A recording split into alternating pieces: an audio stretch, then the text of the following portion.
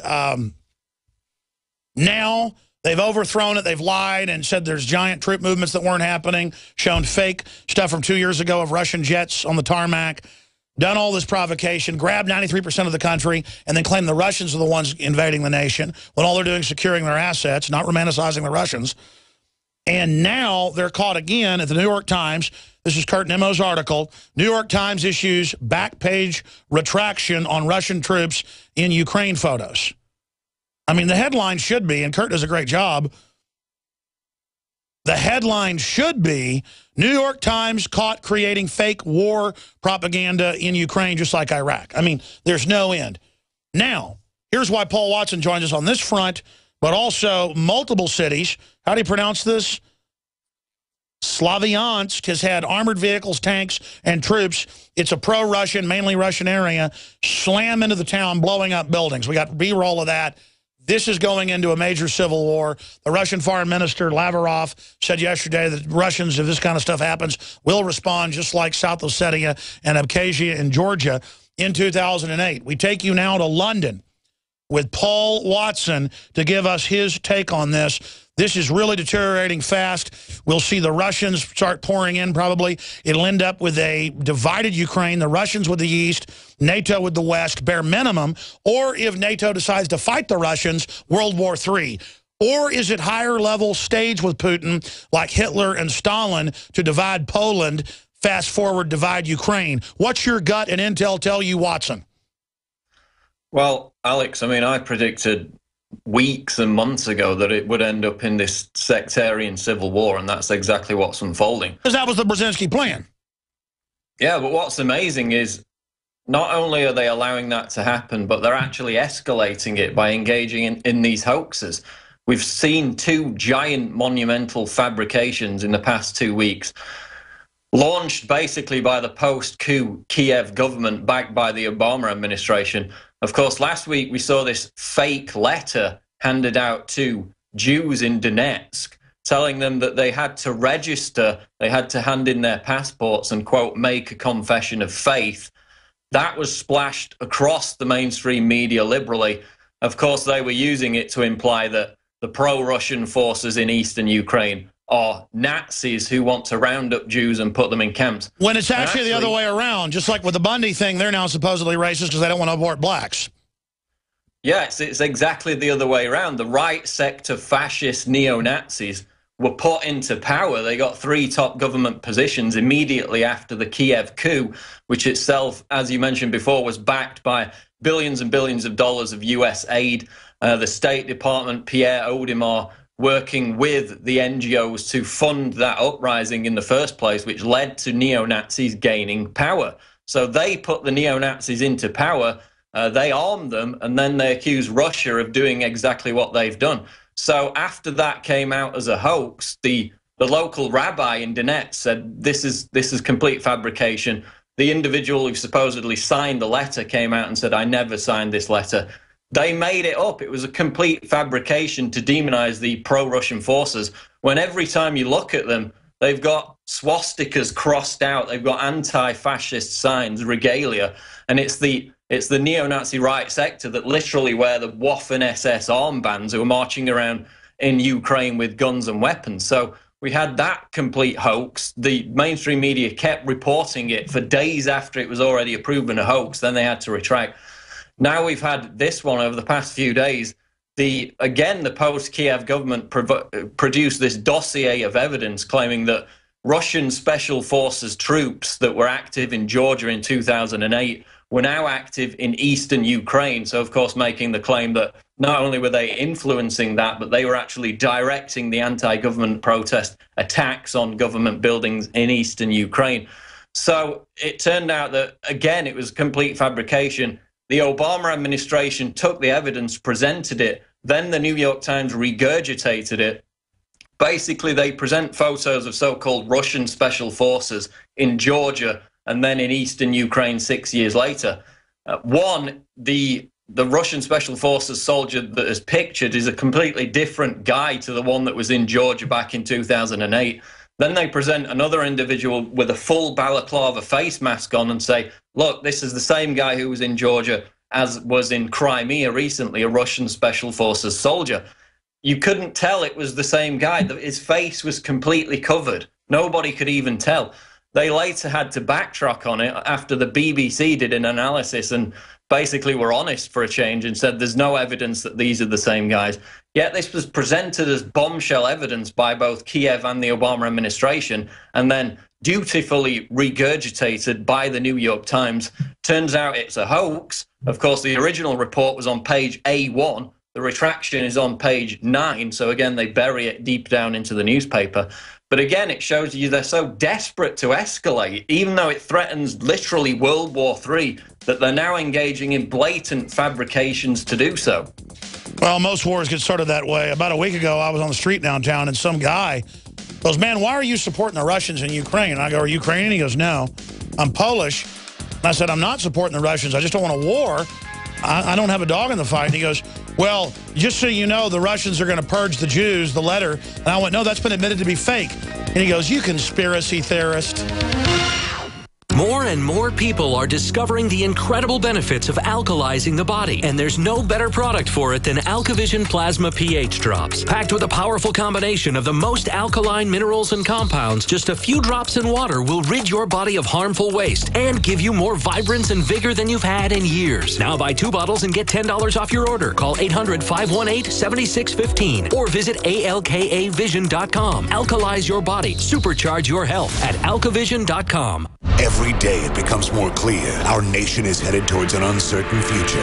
Nothing can ensure your family's security like an Atlas survival shelter. The strongest money can buy and designed to be buried up to 42 feet deep with all the comforts of home and all the protection you need. Bulletproof hatches, tamper-resistant air pipes, and a unique ground design that'll withstand a bomb.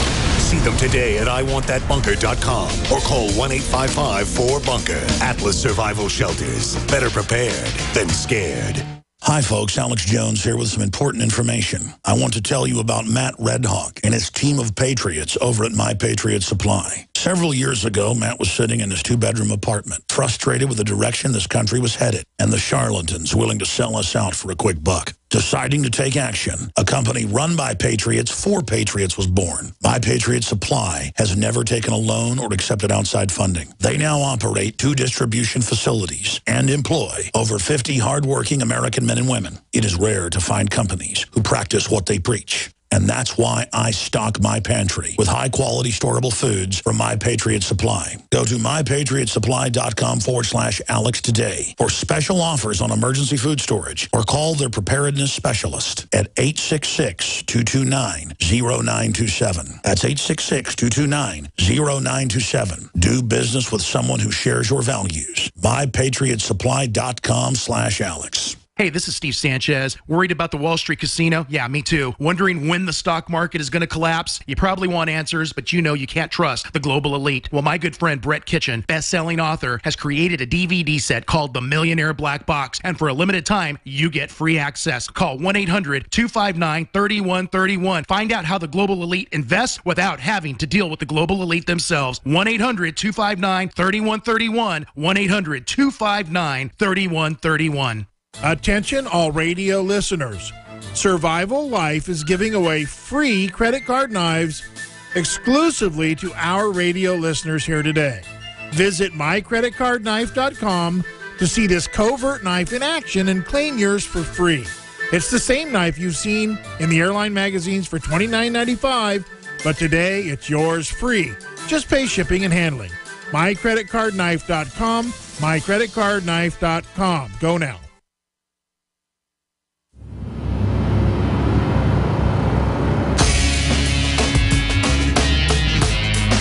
Some folks are raised, silver spoon in their hand. Ooh, don't they help themselves? Some folks are born made to wait to fly. Ooh, the red, white, and blue. The red, white, and blue. And when the band plays, hail to the chief, Lord knows they point the cannon at you. It ain't me.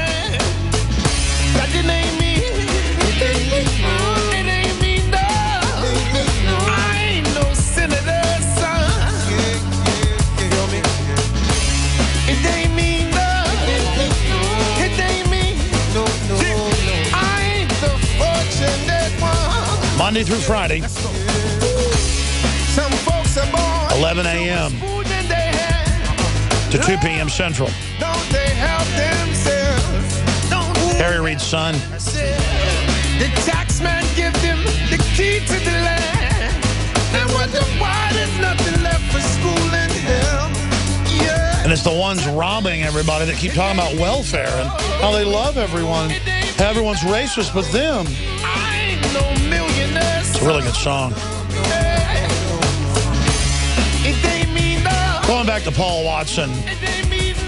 Paul, it's like we're sitting here on the eve of destruction, just calmly watching the globalists that run our country try to overthrow Syria with al-Qaeda, trying to start a war with Russia. You got Lavrov saying if you continue to attack Russian-held areas, we're going to attack you and respond like Georgia. And then today, for those that don't know, Kiev military op, Ukrainian army tanks smash into Russian-held towns. And we've got some of the B-roll uh, that we can show folks uh, up on Infowars.com. We do have that B-roll on our video list as well of burning buildings, smoking uh, cars, uh, rocket attacks, you name it. And we'll, we'll roll some of that while uh, Paul Watson is talking. Paul, why do you think the globalists that run the West are this crazed? Because in their everyday lives, they're very craven, very cowardly criminals. But when it comes to the world destruction, they seem to be very bold. Do you think there's some type of backroom deal with Pooty Poot that he'll get part of Ukraine and they'll get the other part? Because I don't really see that, though in the past those type of deals are done. I haven't seen any evidence to that effect, Alex.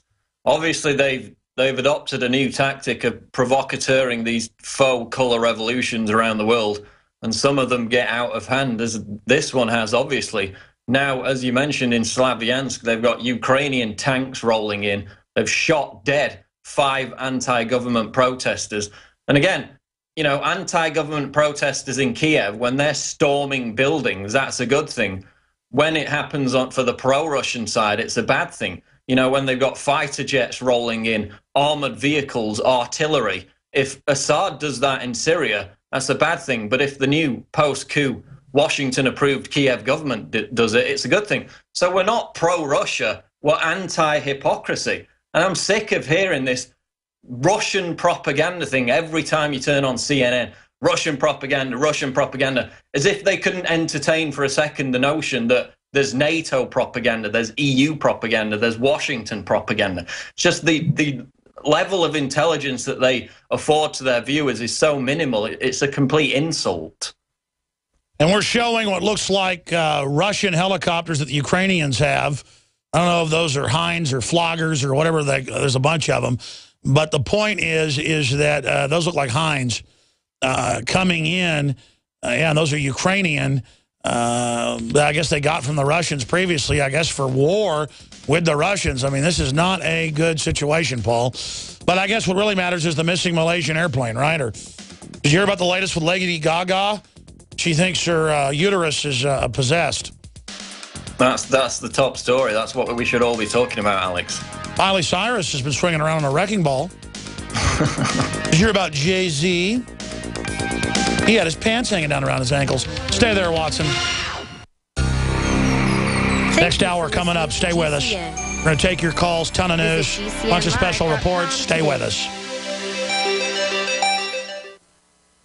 From the water table to our soils to the atmosphere itself, our world is becoming more and more toxic each and every day. But it's not just the air outside that's toxic. Indoor air has been shown to have two to five times higher concentrations of pollutants than even outdoor air. And most Americans spend 90% of their time inside using toxic chemicals within their homes. There are more than 42 million smokers in the United States. Well over a thousand types of mold and mildew linked to numerous conditions. And don't forget the fact that 6 million Americans live with pets they're allergic to as well. When I began to research these statistics, it was clear to me it was time to start cleansing my lungs in order to combat the toxic environment that we cannot escape, but that we can fight back against. Made with organic and wild cultivated herbs and manufactured in the USA, the new InfoWars Life Lung Cleanse is here in a convenient spray bottle that can be brought with you throughout any toxic environment. Now available exclusively at InfoWarsLife.com or by calling toll free 888 253 3139.